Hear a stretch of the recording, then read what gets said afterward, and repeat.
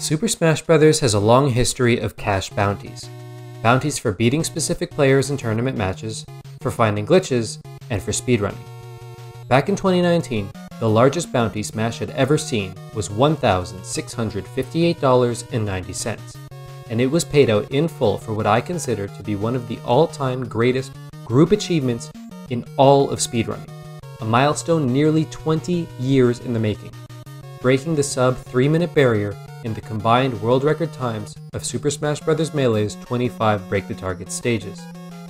And get this that entire payout and nearly a year's worth of effort from dozens of players around the globe served one purpose lowering those 25 world record times by a combined total of less than one second.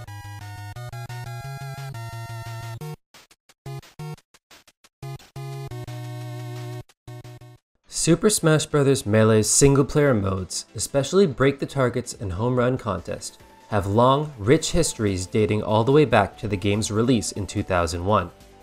And while much of the early history has been lost, in some cases the history books are still being written today. In May 2002, six months after the game's release, the earliest surviving Break the Targets world record list reported that Melee's 25 individual levels had been completed in a total time of 3 minutes and 29.18 seconds. One year later, in May 2003, 22 of those records had been broken, and the total time had dropped to just under 3 minutes and 15 seconds, for 14 seconds of improvements. If you know anything about speedrunners, you know they love milestones, and Break the Target speedrunners are no exception. The dream was to have a total sum of high scores below 3 minutes. The next 14 seconds of improvements, however, took just a little bit longer. Okay, they took a lot longer. It took all the way to February of 2019, almost 16 years later, to get within striking distance of the 3 minute total. The sum was at 3 minutes and 0.87 seconds. But in the intervening years, Break the Target's records had been impressively optimized. No new records would come easily, so members of the community decided to sweeten the deal with a hefty bounty. SaveState, who was then the holder of the Link World record, decided to put up $10 per frame for the 53 frames until the sum of high scores was at 259.99. Sockdude 1, the reigning king of Break the Targets with the lowest total time by a single individual, matched that. And mudi, in second place overall, put in 10 euros per frame. In total, as of the exchange rate on February 15, 2019, that's $31.30 for every 160th of a second shaved off a record. Or, put another way, $1,658.90 for less than a second of improvements. It sounds quite lucrative, and yet the reaction from most onlookers was, good luck. Like I said, no new records would come easily. Compounding this difficulty is the fact that break the target stages are very short, and Melee has been around for so long, most stages have been so thoroughly researched that the current world records already use their optimal route, so they could only be improved with better execution. Nevertheless, the Break the Targets runners got to work. The first record to fall was one of the oldest in the books. 8.41 with Donkey Kong had been set 11 years prior by the legendary old school player LP Zampa, who set new untied records for 14 of Melee's characters between 2007 and 2009. Despite not being active since then, Zampa was still top 5 on the leaderboard at the end of 2019 over players who had the advantage of more than a decade of strategy improvements they could use to topple him.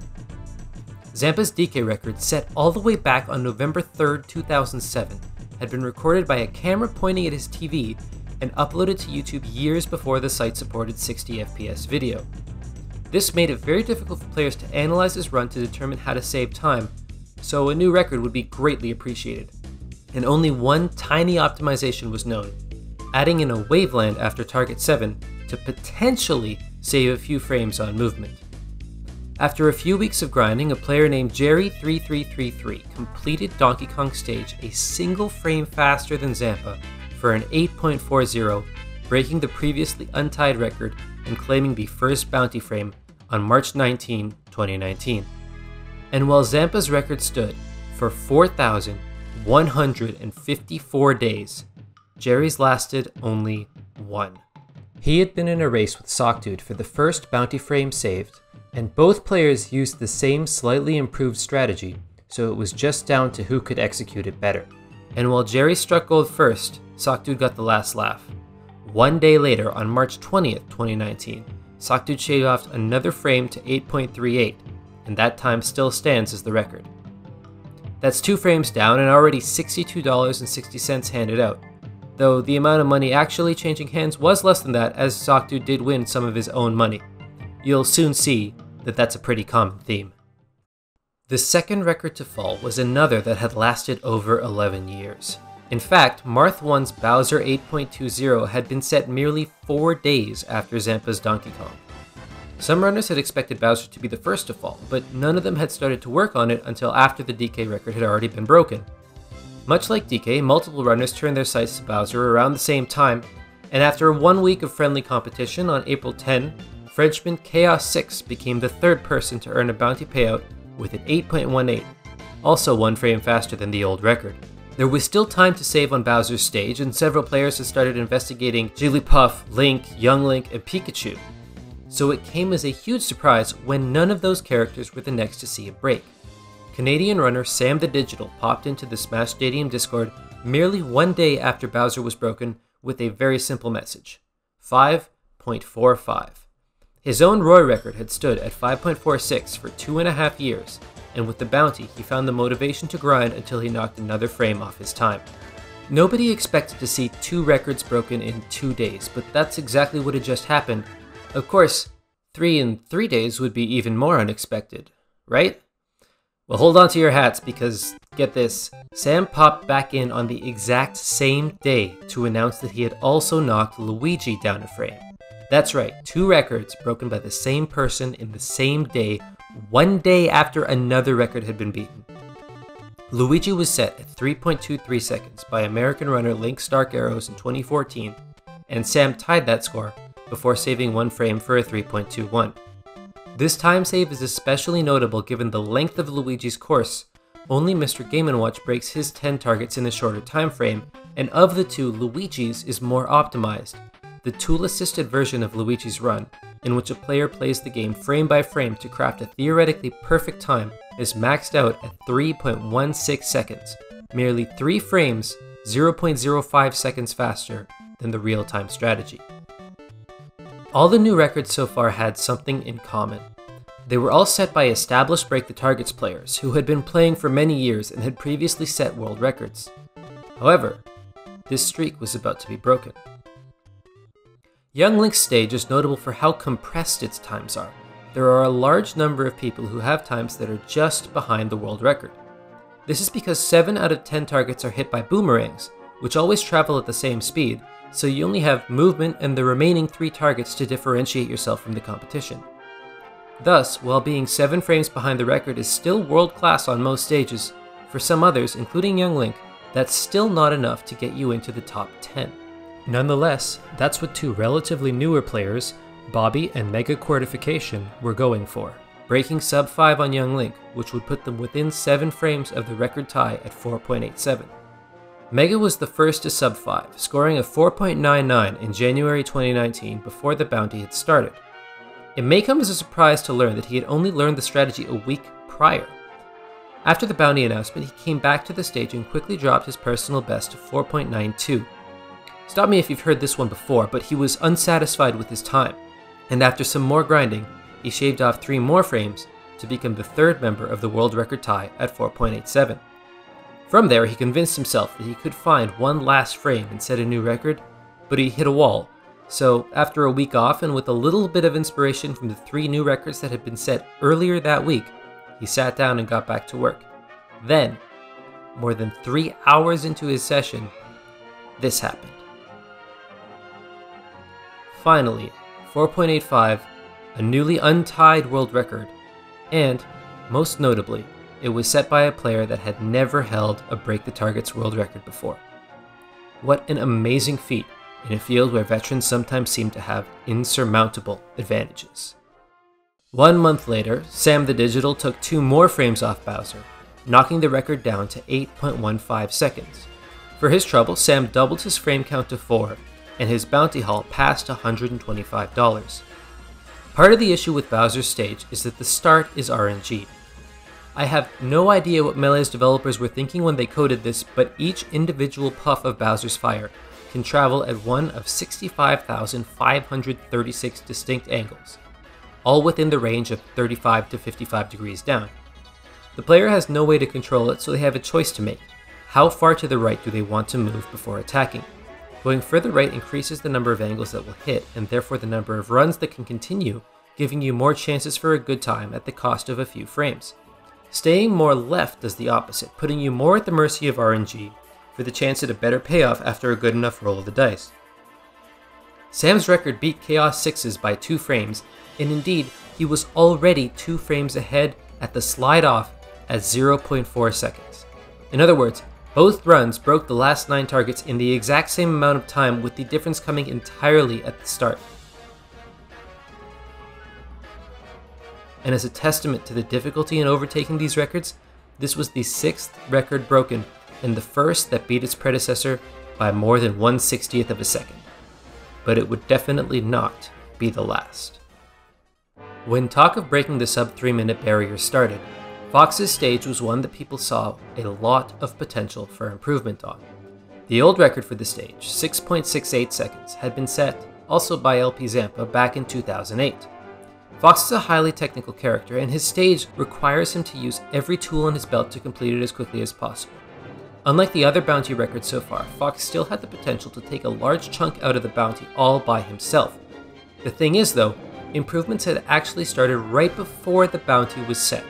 In January and February 2019, three players had taken Zampa's time down a total of 10 frames. First, Jerry with 6.67, then mudi with 6.62, and finally Sockdude with 6.52.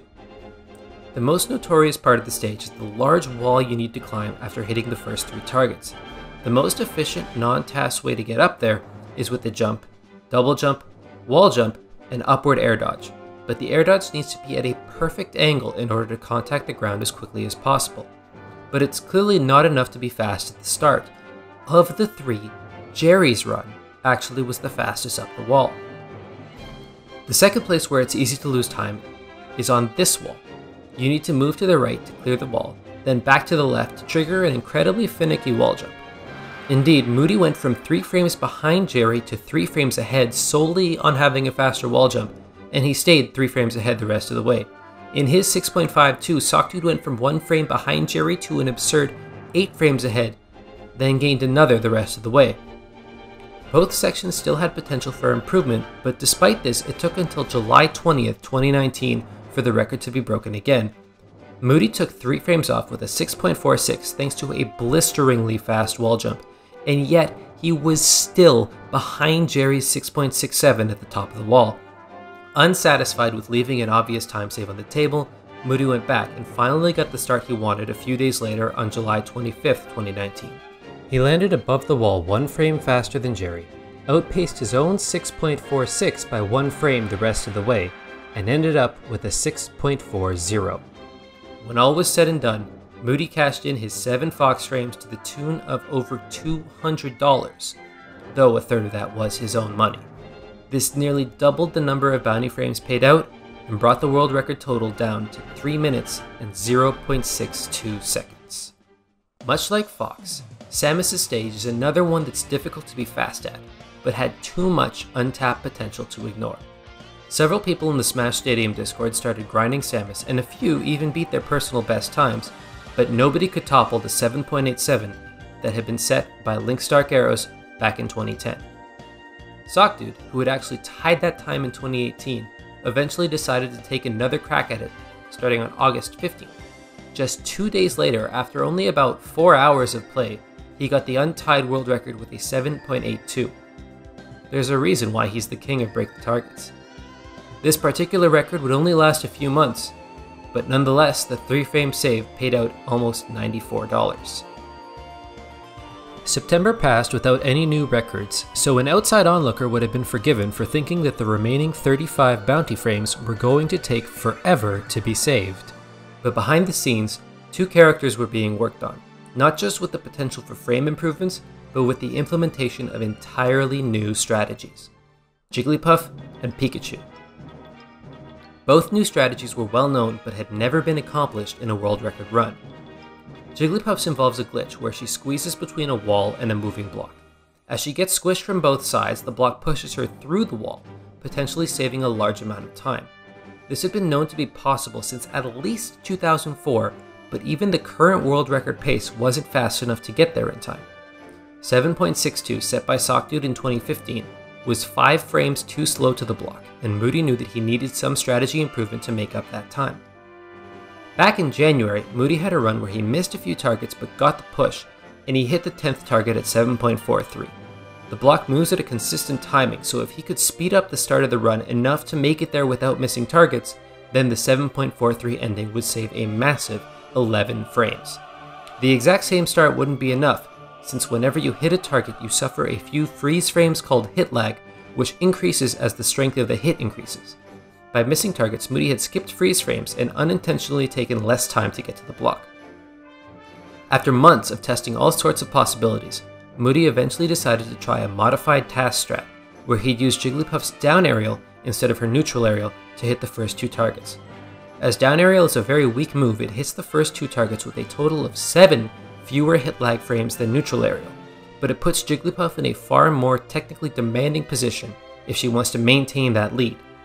In March, mudi had started hitting the new start, and his pace quickly surpassed the old one, but he didn't have a completion yet.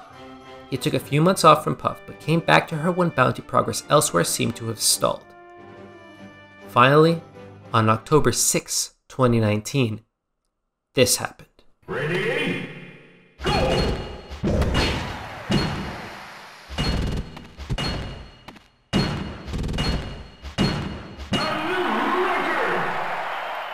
Twelve frames, $375 in one shot. All of a sudden, sub 3 didn't look that far away. But mudi wasn't done with Jigglypuff yet. On Bobby's recommendation, he implemented a reverse forward aerial during the block push to save a few more frames. And a week later, he brought Jigglypuff down another 5 frames to 7.33. He was actually a frame slower to the push this time, but that was a good thing. It meant that Puff would stay in contact with the block for one additional frame, giving her a tiny extra push on top of the second strategy improvement. Jigglypuff's record used a strategy from 2004, and the next record would actually come from a player who had last set a record in 2004. Mario 64 Master had set a Samus record of 8.18 seconds in October of that year. A new Samus record had been set six times since then, including Sockdude's recent 7.82, but Mario 64 Master came back to reclaim the throne and he did so in a scientific, methodical way unlike anyone I've ever seen in Break the Targets. He analyzed video footage of any fast Samus runs he could find, figured out who was fastest to which targets to determine where he could improve, and kept copious notes on even his partial runs that had good individual splits. Mario 64 Master put in roughly 100 hours into Samus alone over three months, at roughly twice his age the last time he had set a Break the Targets record and his tenacity eventually paid off. He took back the Samus record by 3 frames with a 7.77, then dropped it by one more to 7.75 in November for a total payout of $125. Around the same time, he even broke the Samus Break the Targets TAS record and joined Zampa's Mr. Game & Watch in the very rare club of players who held both the real-time and TAS records for the same character. With Samus down, there were only 14 bounty frames left, and everyone's eyes were on Pikachu, perhaps to even finish the job. But while the bounty was running, a YouTuber and TASer named Practical TAS had been working on a video chronicling the history of Peach's break the targets, and it had a bit of a surprise at the end a brand new world record, using a strategy that I had confirmed was faster than the existing. Sockdude pulled off a 9.46 with Peach, which beat the record by 4 frames and improved his personal best by nearly half a second. The massive gap came from the fact that it was his first ever non tool assisted completion of Peach's Beam Sword strategy, which requires getting a 1 in 768 chance of pulling a Beam Sword instead of a turnip with Peach's down special. Sockdude had actually done this in early November, but he kept his time a secret so it could premiere in my video. I could go on about Peach forever. In fact, I already have, so if you want to learn more about her, the best place to learn is that video. And since the release of the Peach video, at least four more people have broken the 10 second barrier on her stage using the non-beam sword route that it describes. One of those players is also well known in the Legend of Zelda speedrunning community. His name is Demon. Before Demon was breaking records in the Legend of Zelda series, he was actually a prolific Melee single player runner. At one time or another from 2007 to 2013, Demon had set Break the Targets records for 8 characters, one of which still stood all the way through the end of 2019 Pikachu. He hit 7.20 on January 1st, 2010, and much like mudi with Jigglypuff, he took inspiration from the TAS route to finally crack that record. The 6.68 TAS uses an absurdly precise up angle which required holding the control stick at a specific diagonal coordinate, and to make matters worse, that coordinate is in the middle of the control stick's range rather than on the edge, so you can't use a notch for consistency. Bobby had actually hit it several times starting in March, but it wasn't considered reliable at all. The concept is actually pretty similar to that of an extended super slide in Ocarina of Time, so it's pretty fitting that a Legend of Zelda speedrunner figured out how to make it work in Melee. After testing, Demon figured out that the up B could be more consistent if Pikachu traveled diagonal first, then sideways. This meant that the precise coordinate is needed during the straight sideways movement instead of the diagonal, and Melee's generous controller dead zone meant that the runner only needed to worry about precision on one axis instead of both. After several close calls, Demon completed the new strategy for a 7.35 with several clear areas to save time. The new route was clearly faster when done optimally, so now that there was a completion, it was only a matter of time before a new record would be set. The race was on and over $300 were at stake. There were 10 bounty frames left, and this new Pikachu strat could easily take home all of them. Or, as Link's Dark Arrows perhaps exaggerated, one meh run with Pikachu makes 259 free. A 703 would be a 10 frame improvement, and sub 7 was definitely possible. Even top melee competitors joined the fray, including the best Pikachu, Axe, and the recently retired former number 1 player Armada. First Blood was soon struck. On January 1st, 2020, Demon sent a very simple message to the Smash Stadium Discord. Hey, and a YouTube link. It didn't end the bounty, in fact, it was only a one frame improvement to 7.18 seconds. But it was a new record, beating Demon's old time exactly 10 years to the day that he set it. And one day later, Demon beat his time again, scoring a 7.10 for another 5 frames of improvement. Demon was up to almost $188 in bounty money and had brought the total high score to within striking distance of sub 3 minutes. 3 minutes and 0.05 seconds, merely 4 frames from the magical 259.99. That very same day, January 2nd, 2020, Sub 3 was finally achieved, but it wouldn't be Demon who did it. Yes!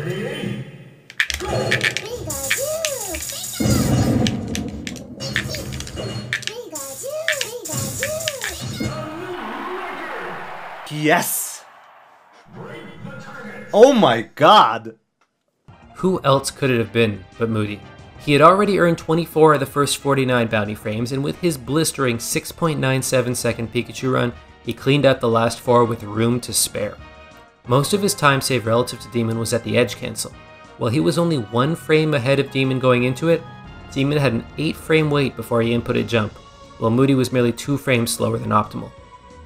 mudi had been practicing with the save state to get the muscle memory for the edge cancel down, and while the extra time spent practicing meant that Demon took the majority of the remaining bounty frames, mudi walked away with the glory of being the person who took the total below 3 minutes for good, and another $125. Because he was responsible for a total of 28 bounty frames, he actually came out net positive on the bounty despite paying out roughly 36% of it, before accounting for fluctuating exchange rates. In total, he committed 530 euros to the cause, or roughly $600 at the start of the bounty, and he received about $875 to walk away a remarkable 275 bucks up. You might be tempted to think that the story ends there, right? Well, you're wrong. The crazy part is, the Break the Targets runners are still going. Several of the records in this video have already been beaten, breaking the 3 minute barrier only increased the amount of interest in Break the Targets. In fact, we didn't just go sub 3 in 2020, we didn't even just go sub 259 in 2020, we actually went all the way down to sub 258 in under 12 months, then sub 257 in the first half of 2021. This included a brand new strategy on the Ice Climbers stage that, had it been discovered a year earlier, could have cleaned out the entire bounty fund and then some in four days. But that's a story for another time. So if you want to know the exact second when my next video goes live, you know what to do. As always, thanks for watching, and a very special thank you to all the members of the Smash Stadium Discord. This video could not have happened without your help.